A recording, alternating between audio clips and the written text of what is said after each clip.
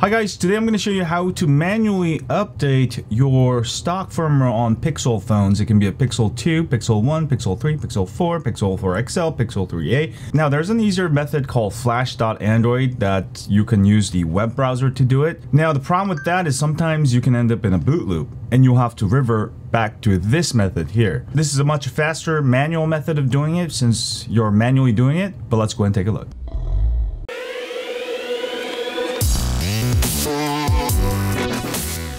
Hi guys, so I've got the Pixel 2 here and I want to install uh, the latest Android 10 and I've got a custom ROM running and I'm gonna go ahead and power off and put it into uh, basically fast boot mode which is power and volume down key like that and you'll be in fast boot mode. This is the same for all the Pixel phones.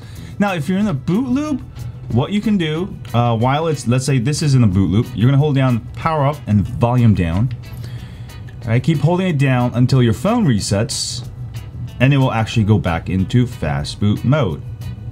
Alright, so long as you can get back into fast boot mode, you can use this method to unbrick your phone, install the stock firmware.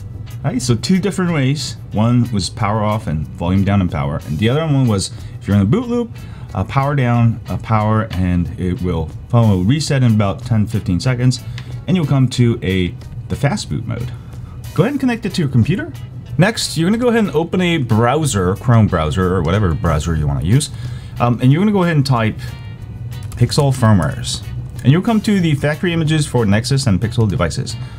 By the way, this will work also on Nexus devices. I just didn't mention it because I don't know if any of you guys are actually using such an old phone, but I may have some instructions on that too. Now, if you go scroll down, you'll see the contents come up on the right. So go ahead and choose the right one. I have a Pixel 2 and I'll be installing the latest Android 10, the absolute latest version. All right. The reason I'm not installing Android 11, uh, in order to install GSI images, right now you can't do it with Android 11. So I'm going to actually install the latest 10 here. The flash method is easier. I'll have another tutorial on it. If I have made it, I'll put the link in the description. Try that method first because it's a lot easier. You just click and you just let the web browser do the work. But like I said, you can end up in a boot loop where your phone doesn't boot after you do this. So if that happens, then you'll want to manually do it. So hit the link key here. You'll also need fastboot.zip. Go ahead and download at download.highonandroid.com. Go to tools and go click on fastboot.zip and download link is here right here download here and click here to download. And go ahead and download that. I've already downloaded that so I'm going to cancel that out. And the firmware is almost downloaded. Now this will work on any Android Pixel phones Google Pixel phones. Um, this will work on whether rooted or not rooted. All right once downloaded go ahead and click on the file and extract all files All right, while that's doing, also go ahead and unzip fastboot.zip. Same thing, double click, extract all. And you'll get a folder called fastboot, right, with all the files you need. Now, once both files have been unzipped, you'll get a fastboot folder with all the files you need. And you'll get a firmware folder.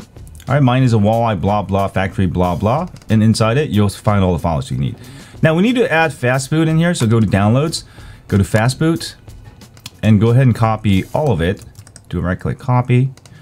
Go back to your downloads folder. Go ahead and find the firmware folder, walleye blah blah. All right, it might be a different name if you're using a different type of pixel. And where all these files are, flash all blah blah blah, you're gonna go ahead and do right click and paste. All you're gonna do is click on flash dash all.bat. Now make sure you have Android ADB uh, drivers installed. If you don't have it installed, go ahead and install drivers. But go ahead and double click and this will actually do the work for you. If you get a Windows error, don't worry. Uh, it just, it's completely safe. I've done it about a million times straight from Google. Uh, and you can see the phone going off and it's going to reboot a few times. Basically right now it just flashed the bootloader, rebooted. Every time I try to flash a new thing, it's got to reboot for a clean flash. Uh, it's booted uh, and flashed radio and then re reboot, rebooted again. And then it's uh, booted the boot.img, which is your kernel. All right, and then rebooted and installed DTBO uh, vbmeta, all right, which is uh, for your boot verification. And then it's now it's finally flashing system. Now, if at any time of this thing you get an error, then you'll know exactly what went wrong. Now, the problem with the flash tool from Android, sometimes things break, sometimes things don't flash like they were intended to. Although it works, you know, 8 out of 10 times great. Uh, but yesterday, I got in a boot loop while trying to upload um, update through the flash tool.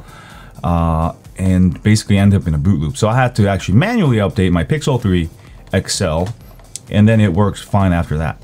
Um, so the manual method is recommended because with the web browsing method, um, you can get into problems because you're still going through the web and it's a lot slower because uh, it's, because it's a web browser. Whereas you're do doing it on your computer, it's more secure. Um, you're not going to have a problem like your internet dies suddenly, then you know you're not going to be able to flash it completely, or you, will get an error and you know it might mess it up. So this is actually a much safer method.